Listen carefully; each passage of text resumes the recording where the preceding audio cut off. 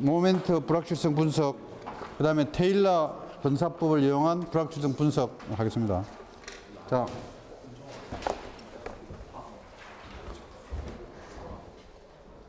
이 지난 시간에 우리가 그 y equal ax 플러스 b 이라는 식에서 x의 랜덤 베리어블 x의 어, 분포가 주어져 있으면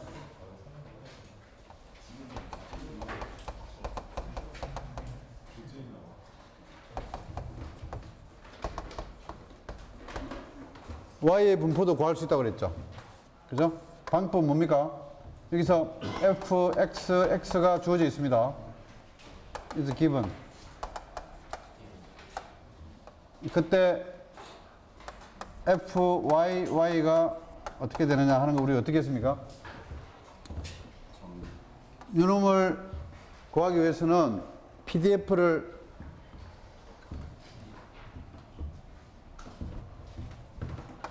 CDF Cumulative Distribution Function fy, y를 구해서 미분하면 됐죠.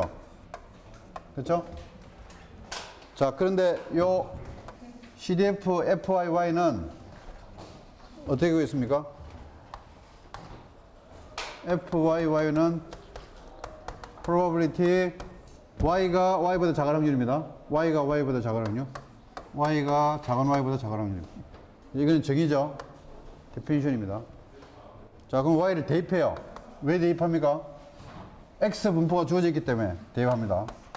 그걸 활용하기 위해서 ax 더하기 b 이렇게 되죠. x가 주어질 때 x를 뽑아내면 x는 아, b 이렇게 되면 y 마이너스 b고 a를 나누면 x가 나오죠. 자, 그죠? 그래서 요 놈은 대표, 어, 정의에 따라서 f, x, a분의 y 마이너스 b죠. 되죠. 요 놈을 대입합니다. 여기 대입하면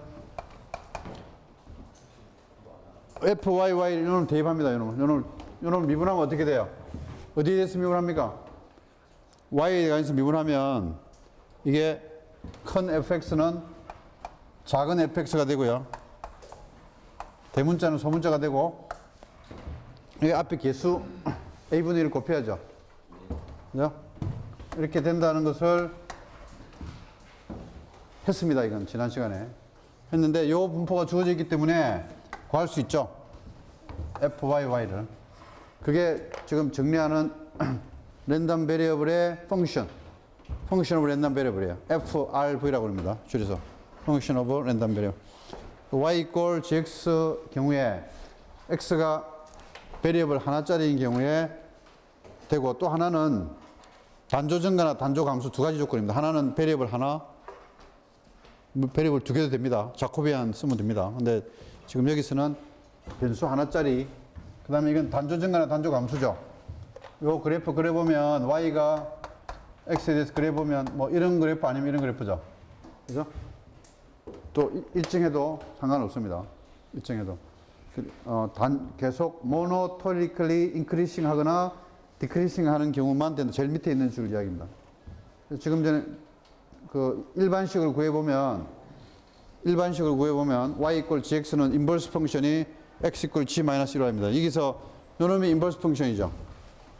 여기서 x 뽑아내면 x는 y 마이너스 b의 a죠. 그죠? 이게 inverse function이에요.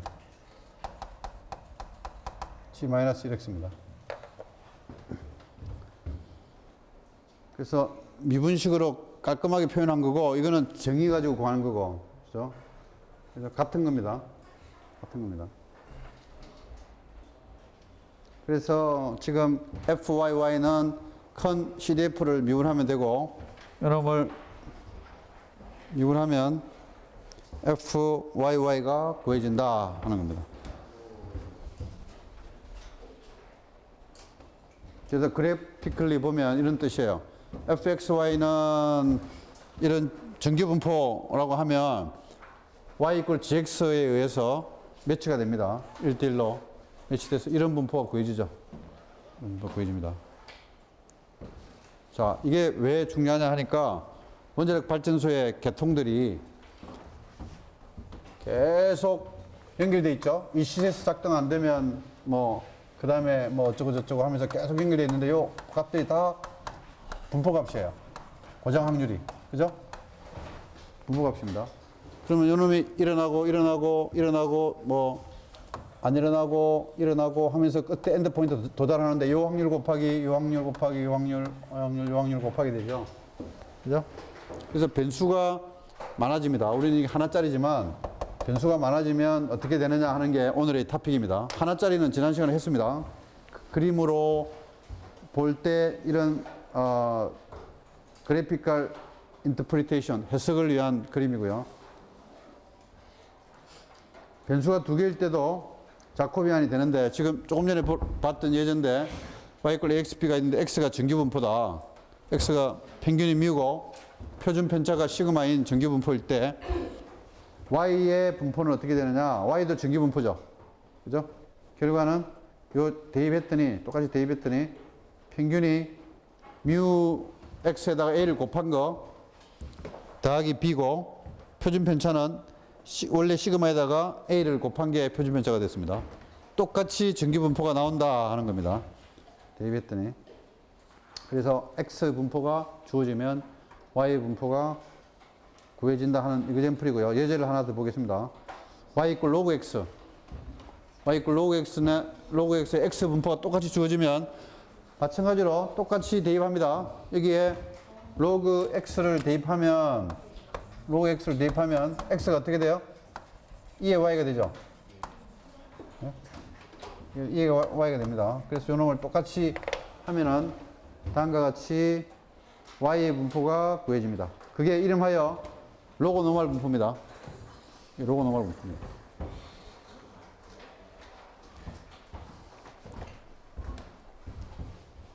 자, 훨씬 이게 흑판에 써놓은 게 보기가 좋을 겁니다.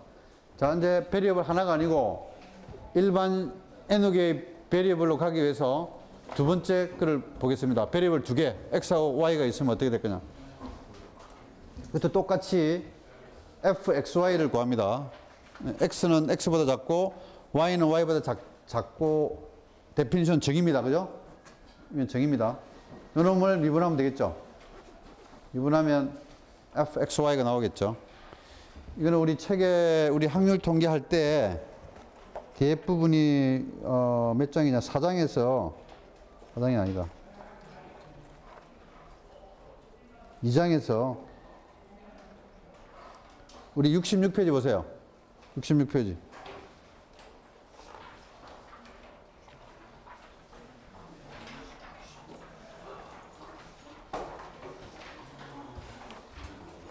육십육 페이지에 어, 조금 전에 봤던 그림 있죠? 그림 있죠?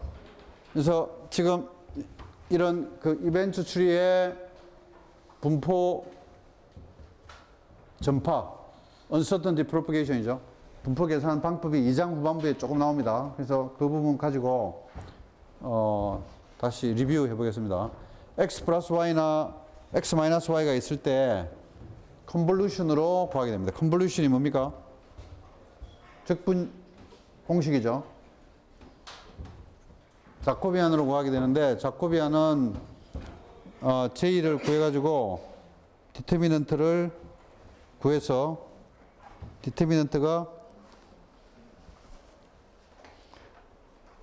어디에 들어가냐 하니까 이 적분식에 J에 대입됩니다.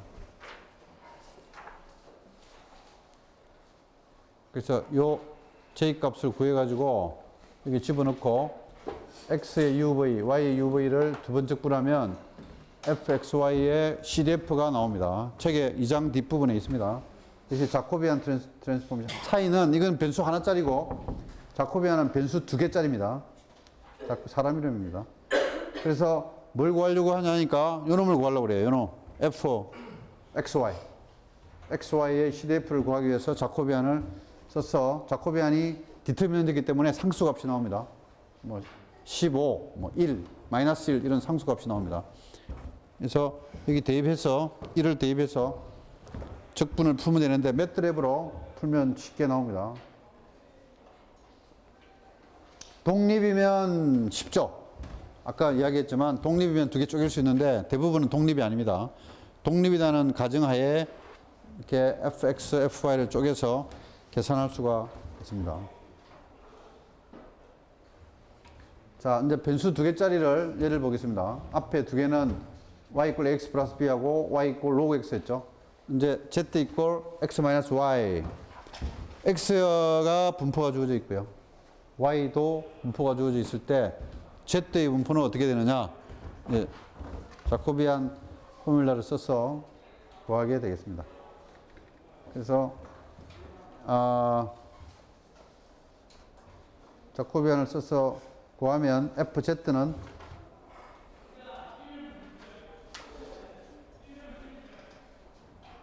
fz는 45씩 같고요. 이게 전에 그 평균하고 분산은 넘어가겠습니다. 아는 내용이니까. 근데 변수가 두 개일 때 평균하고 분산도 변- x1, x2 아까는 분포를 구했고요. 지금은 x1의 평균 분산만 알고 x2의 평균 분산만 압니다. 분포가 뭔지 몰라. 그럴 때 y의 평균과 분산을 알고 싶습니다. 우리가 알고 싶은 건 어떤 분포의 평균하고 분산이 때가 많아요. 분포는 상관없고 뭐 익스포넨셜이든 포화손이든 뭐 포화손은 불연속이니까 익스포넨셜이든 뭐 베타든 감마든 로고노말이든 뭐 뭔지 모르겠지만 하여튼 평균하고 분산을 알고 싶을 때 쓰는 방법이 되겠습니다. 그래서 변수가 두 개일 때 평균은 이거는 어널리틱하게 x1, x2가 아, 구해지는데 분산은 코베리언스가 들어가게 됩니다. 분산의 정의는 편차의 제곱의 합의 평균인데 변수가 두 개인 경우는 x의 편차하고 y의 편차의 곱수의 평균입니다. covariance의 정의는 x의 편차하고 y의 편차의 곱수의 평균이 아, covariance입니다. 그래서 코베리언스는 코베리언스 between x1 and x2죠. x1, x2가 covariance가 0이면 독립입니다. 독립입니다. 자, 독립이면은 똑같이 x1, x2의 variance에다가 상수 a1 제곱, a2의 제곱이 곱해진 것을 더하면 53식과 같이 variance를 구할 수가 있습니다. 일반화 시키면 평균은 그대로인데 분산은 뒤에 covariance가 붙어요. x1, x2, x2, x3, xn, xm이 독립이 아닐 때는 베리언스는 이런 일반식이 이렇게 됩니다. 복잡하죠. 코베리언스를 엄청 구해야 돼요. 각 두 변수 간의 상관식을 구해, 구해야 됩니다. 이게 일반식인데 좀 문제를 단순화시키면 변수 간의 어, 독립이다. 변수 간의 독립은 여러분들 착각하는 게 여러 가지 변수 간의 독립이 아니고 두 변수 간의 독립인지 아닌지입니다. 그래서 베이지안 할 때 여러분들 기억나죠? 아, A라는 사건이 있고 B라는 사건이 있을 때 A라는 사건이 P1이고 B라는 사건이 P2고 P3.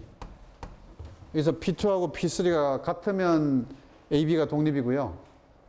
P2하고 P3가 다르면 AB가 독립 사건이 아닙니다. 잘 알고 있죠? 그죠? 그래서 항상 두 변수 간의 상관관계가 어, 코베리언스입니다. 세 변수 아닙니다. 요 그다음에 뭐 그다음 변수가 있다. C가 있다. 이거는 P4가 되겠죠. P5. 자, 요 A하고 C가 상관관계가 있는지는 체크할 수 있습니다. 있는데 A, B, C가 상관관계가 있는지 체크는 할 수가 없다. 그 착각하는 사람이 있어서 어, 강조합니다. 자, 곱 x1, x2 두 개가 아니고 일반적인 n의 개일 때 z의 평균하고 분수한 거라 평균은 평균은 그대로 곱하면 되는데 뮤 x1, 뮤 x2, 뮤 xn으로 곱하면 되는데 어, 독립일 때 분산은 또 곱할 수 있어요. 독립이면 independent인 경우는 independent가 아니면 이렇게 될 수가 없습니다. 바로 밖으로 못 나와요. 이렇게 각자 각자 각자 밖으로 못 나와. 이렇게. 자.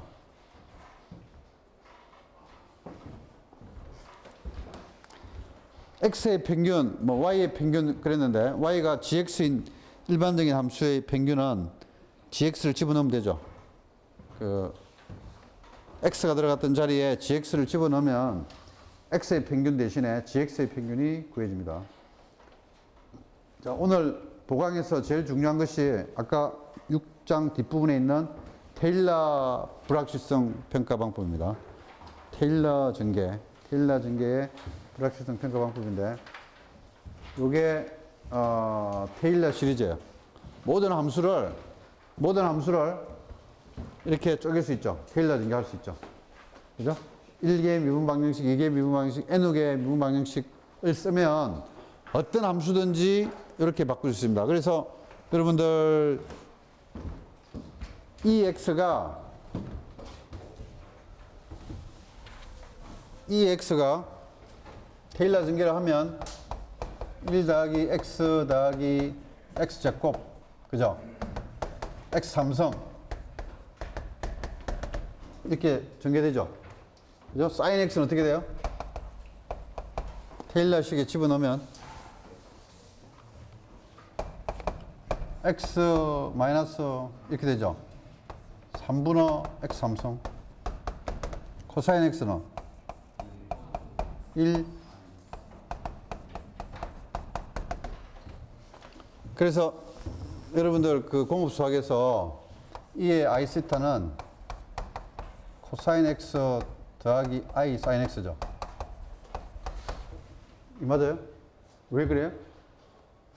이거 증명은 요거 전개하면 이렇게 되겠, 되겠죠.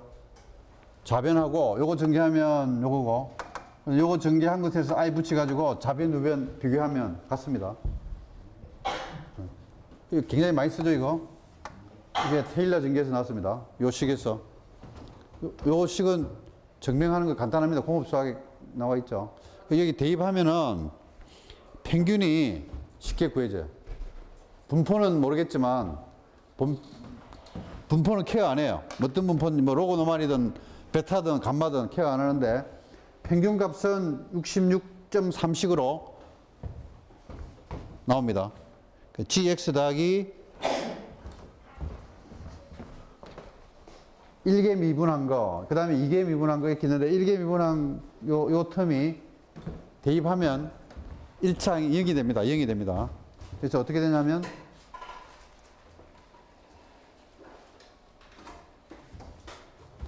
세 번째 항, 첫 번째, 세 번째 항을 쓸 수도 있는데 첫 번째 항만 써도 거의 근사값은 이 함수에 평균값을 집어넣으면 돼요. 이 함수에.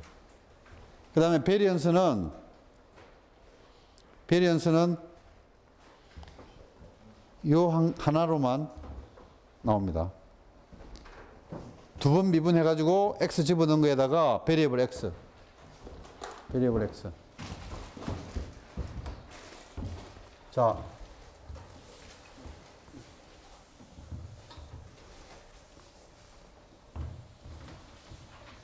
지난 금요일, 어, 목요일 날 스마트 워크숍이 있었습니다.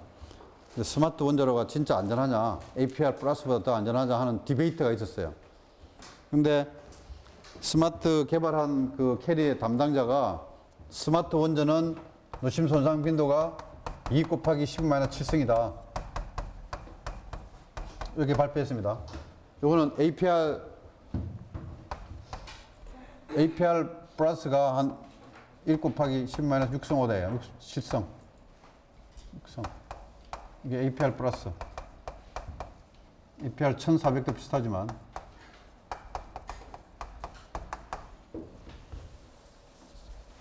이거보다 작다는 거죠. 이게 스마트가. 이값 가지고 논란이 있었어요. 첫 번째는 이 값의 그 신뢰성, 품질입니다. 품질. 그 다음에 이런 정도의 차이가 다섯 배죠. 다섯 배인가? 다섯 배죠. 다섯 배 안전한 거죠. 이런 정도의 차이로 더 안전하다고 할 수 있느냐. 자, 이런 값을 어떻게 구하냐 하니까 이거는 포인트 값입니다. 이게 분포 값을 구해야 돼요. 어? 이것도 분모값을 구하면 이거 값이 좀 크니까 이렇게 되겠죠. 그러면 어떤 영역에서는 오히려 요게 더 작아요. 요게 요거보다 작죠. 그죠? 그래서 몇 퍼센트 컨피던스로 요놈이 요놈보다 스마트가 APR보다 더 안전하다. 뭐 95% 컨피던스로 A가 B보다 안전하다. 이렇게 해야 되는데 그냥 포인트 값만 제- 제시하니까 논란이 어, 토론이 오래됐습니다. 자, 요놈 분포를 어떻게 구하느냐 하니까 지금 봐- 구하는 어, 지금 보여준 이 테일러 전개 방법으로 구하는 게 하나의 방법입니다. 자, 예를 하나 들어보겠습니다. 이제 비행기가 착륙을 합니다. 우리 인천공항에 비행기가 착륙합니다. 비행기가. 비행기가 착륙하는데 비행기가 땅에 떨어지는 시간이 도착하는 시간이 t가 정규 분포예요. 뮤 t 시그마 t.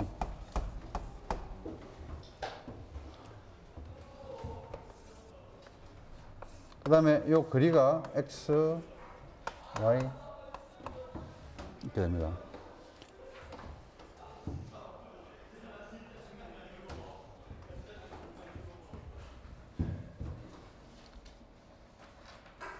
자, 이걸 뭐 시간으로 해도 되고 속도로 해도 되는데 속도라고 비행기 속도 비행기 속도가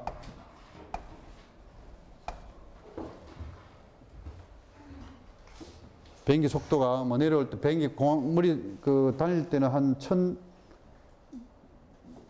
킬로미터 per hour 정도 달리죠. 자동차 고속도로 자동차 한 10배 정도 의 속도로 달립니다.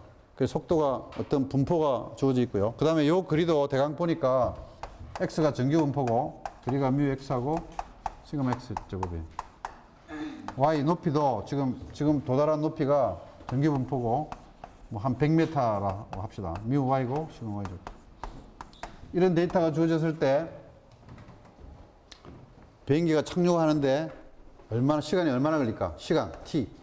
시간 속도분은 그리죠. 속도가 얼마예요? 속도가 이거죠. v. 그리는 그리는 요게 x고 이게 y면 요거는 피타고라스로 루트 x 제곱 더하기 y 제곱이죠. 그죠? 그럼 x 제곱 더하기 y 제곱 이렇게 됩니다. 이게 무슨 함수예요? f x의 함수고 y 함수고 v 함수죠. 시간이. 자, x 분포의 평균하고 분산 주어져 있습니다. y도 평균하고 분산이 주어져 있습니다. V도 마찬가지죠. 뮤 v 시그마 v 주어져 있습니다. 그럴 때 t의 평균과 분산을 구할 수 있는 방법이죠. 지금 소개한 테일러 방법은 그죠? 여기 함수를 함수의 x 평균값, y 평균값, v 평균값 구하면 t 평균값이 나오죠. 그 다음에 x의 평균값 평균 분산하고 y의 평균 분산하고 z의 평균 분산에다가 앞에 두 번 미분한 거에서 저 함수를 두 번 미분한 거에서 x 대신에 뮤 x, y 대신에 뮤 y, z 대신에 뮤 z를 대입하면 이 베리어블 t의 분산이 나옵니다. 무슨 말인지 알겠어요? 자, 변수 하나짜리면, 이건데 변수 두 개면 플러스가 됩니다. 변수 세 개면 3 플러스가 됩니다. 이게 무슨 말인가 하면, 지금 t가, t가 f, x, y, v 함수잖아요. 두, 한 번 미분하면 어떻게 돼요? f, 이렇게 되죠. 근데 이게 변수가 세 개이기 때문에 편미분 해야죠, 편미분. 편미분. x에 관해서 라운드 t, 라운드 f 하면은 라운드 f, 라운드 x, dx. 라운드 f, 라운드 y.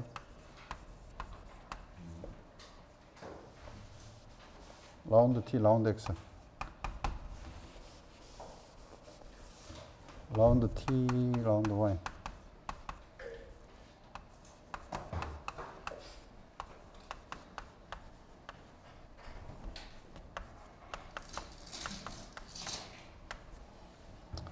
한 번 더 미분하면 어떻게 되겠어요? 라운드 x 제곱.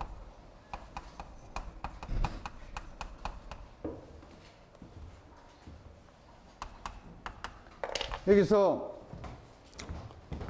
베리어블 y가 변수가 하나짜리면은 요건데요. 변수가 두 개면은 x에 관해서 이거는 이제 d가 아니고 라운드가 되겠죠. 편미분이 되겠죠.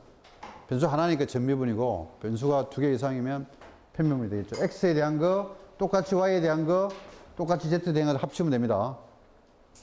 그래서 요약하면 이런 말입니다. 함수가 주어져 있다는 거죠. 이렇게 변수가 이건 얘는 세 개인데 세 개든 네 개든 다섯 개든 열 개든 주어져 있으면 각 component의 평균 분산이 있으면 요 함수의 요 t 값의 평균 분산을 구할 수 있습니다. 아까 우리가 y 이꼴 z 이꼴 뭐 ax1, a bx2 x1이 평균 분산 주어져 있고 x2에 평균 분산이 주어져 있으면 z의 평균과 분산을 구할 수 있습니다. x1, x2가 무슨 함수든지 상관없습니다. 무슨 분포를 하고 있는지 관계없이 z의 분포를 구할 수 있다. 뭘 테일러 전개 불확실성 분석 방법을 쓰면 그만입니다.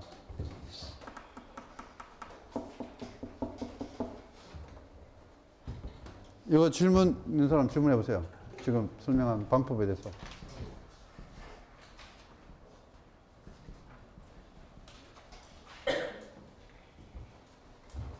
질문 없지? 음. 질문 있는 사람?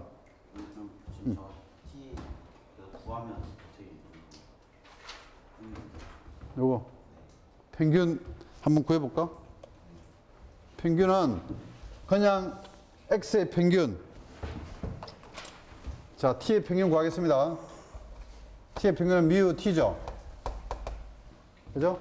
x의 평균 뮤 x 제곱하고 뮤 y 제곱하고 v 이게 답입니다 근데 이게 정확한 값이 아니라 근사값이죠 그죠?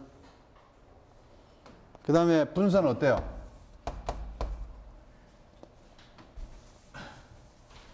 분산은 지금 요 시계 보면 두 번 미분한 거 라운드 제곱 t 라운드 x 제곱 에다가 g variable x.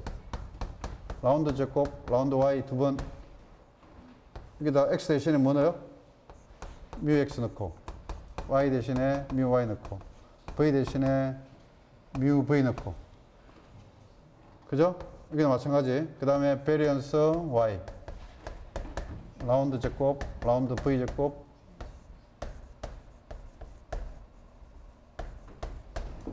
이렇게 구할 수 있다는 거죠 그죠?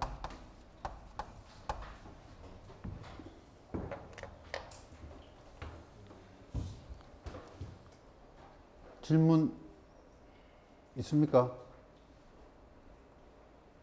자, 이게 다시 한번 강조하는데 어디서 나왔냐니까 E는 66.3식에 보면 요, 요 값을 요 홀수 값을 날아갑니다. 평균 내면 0이 됩니다. 왜? 편차의 합의 평균은 0이거든. 홀수는 날아가고 짝수만 남는데 짝수는 요 틈이 숫자 값이 적어요. 제곱하기 작은 값을 또 제곱하기 때문에. 그래서 날려버리기 때문에 근사식이 됩니다. 이 꼴이 아니고. 그래서 요 값만 써도 된다는 거고요. 똑같이 똑같이 분산도 분산도 원래 식은 이렇게 케일러 전개로 쭉 들어가죠. 그게 곱하기 fx 하면은 그냥 편차는 1승짜리, 3승짜리는 0이 됩니다. 요는 0이 됩니다. 3, 삼성도 0이 되고 짝수만 남게 됩니다. 짝수만 남게 되는데 2승하고 4승하고 6승이 남는데 4승, 6승은 너무 작아요. 4승, 6승 하니까. 작은 값을 또 제곱하니까. 제일 작은 값 요것만 남게 됩니다. 요것만. 요거. 요 뒤에 거를 다 날리고. 그래서 요 값만 남- 쓰게 된다. 이건 변수 하나짜리니까 그렇고요. 변수 세 개짜리는 이렇게 네 개짜리는 또 하나 더 있겠죠. 텀이. 그죠?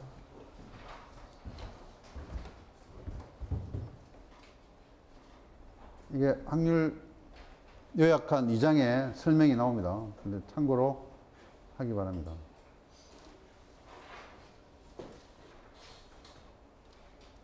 테일러 전개를 일반화 시킨 식이 되겠습니다. x1, x2, xn인데 이놈을 일반화 시키면 지금 gx가 ga 그 다음에 이게 벡터입니다. 멀티 베리어블 프로그램인데 이게 평균이 73식이죠. 지금 요게 x1, x2, xn의 평균 집어넣은 게 요거죠. 그죠? 이거 맞죠? x 평균, y 평균, v 평균 집어넣습니다. 그죠? 그 다음에 분산도 마찬가지로 80씩을 보면 79, 80, 80씩. 80씩을 보면 이 식입니다. 이게 시그마가 지금 더한 거예요. 요거 더하기, 요거 더하기. 그 다음에 두 번 미분한 것을 뭐 좀 잘못됐죠. 이게 정정하겠습니다. 이게 한 번 미분한 것을 제곱한 거. 두 번 미분이 아니고, 이게 뭐가?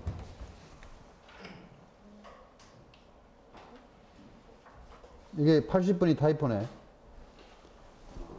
80분이 한 번 미분한 게 제곱이 아니고, 이게 이렇게 바뀌어야 됩니다. 두 번 미분한 것의 절대값 곱하기 베리에블 x입니다. 석반에 내가 적은 게 맞습니다.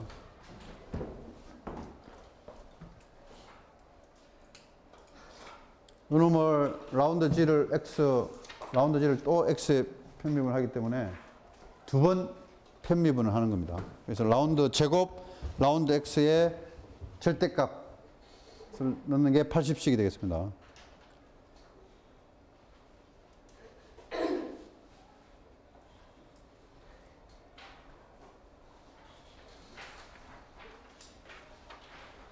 이건 지난번에 했던 내용인데 참고로 어, 하기 바랍니다. 이 그림은 확률할 때 했었습니다. 바가지 모양의 분포가 있을 때 이렇게 딱 자르면 이게 정규분포죠. 옆으로 또 딱 자르면 이것도 정규분포죠. 이걸 bivariate normal distribution이라고 합니다. 그리고 마지널 디스트리뷰션은 마지널 디스트리뷰션 오버 y, 마지널 디스트리뷰션 오버 x라는 뒤에 접미사가 붙게 되는데 marginal distribution of x가 이렇게 됩니다. fx, x고요. 이거는 요 바가지 모양의 분포를 y에 관해서 적분한 겁니다. 여기 대해서. 이렇게 적분한 게 marginal distribution이고 이거는 거꾸로 x에 관해서 적분한 거. 그러면 이런 분포가 나오죠. 저 조건 확률 구할 때 쓰는데 이게 앞에서 했기 때문에 넘어가겠습니다.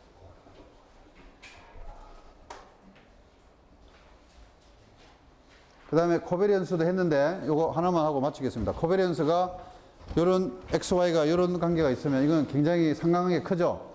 네, 코베리언스가 1에 가깝고 이것도 굉장히 상관관계 큽니다. 마이너스 1에 가깝고 하나가 커지면 하나가 작아지죠. 자, 이거는 키하고 몸무게 같은 게 될 수 있고요. X가 키고 Y가 몸무게. 이거는 뭐가 될 수 있나요? 뭐 몸무게하고 수명 이런 거하고 관련될 수 있겠죠. 네. 네. 이거는 키와 몸무게를 데이터를 많이 찍은 경우가 되겠고요. 이거는 아무 상관이 없는 거예요. 예. 예를 들면 키하고 수명. 예. 키하고 수명은 별 상관이 없죠. 뭐 작은 사람이 오래 산다는 말도 있지만 예, 이런 거는 이렇게 로가 0이 됐고 로는 코베리언스를 시그마 x하고 시그마 y로 나눈 거라고 그랬죠.